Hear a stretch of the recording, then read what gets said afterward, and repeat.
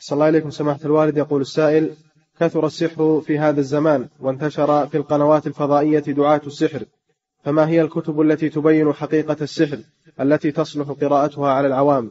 كتاب الكبائر للذهبي وذكر منها السحر وقراءة الآيات التي فيها النهي عن السحر وذم وذم السحرة قراءة الآيات.